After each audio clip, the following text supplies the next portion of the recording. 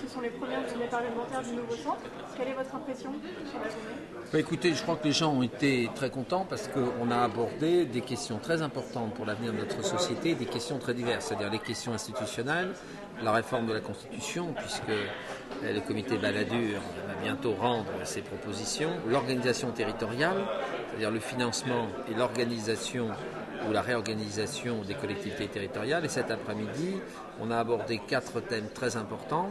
Les finances publiques, l'état des finances publiques et la nécessité de les redresser, les situations environnementales et en particulier euh, l'augmentation des températures et tous les problèmes qui sont liés et les solutions, l'assurance maladie et le problème du vieillissement.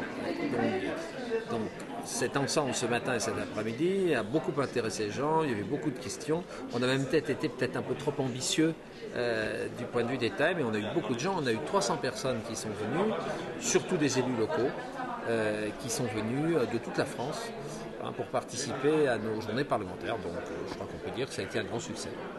Le centre existe depuis quelques mois, quel est votre sentiment sur l'évolution du parti eh bien, la première phase, je crois, a été réussie. Ça a été la création du, parti en tant que, structure.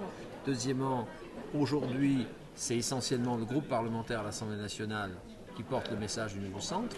Et la prochaine étape, euh, c'est la création. On a déjà 70 départements dans lesquels on va créer notre fédération. Moi, dans ma fédération, je la crée demain soir.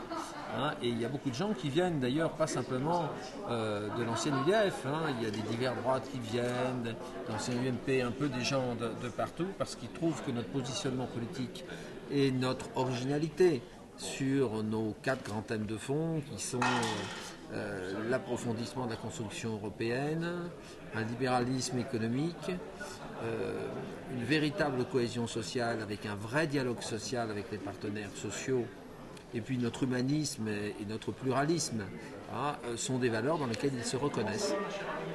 Quelle est votre opinion sur le ben, on l'a dit, ce, budget va dans la bonne direction, mais ne va pas assez loin dans la bonne direction.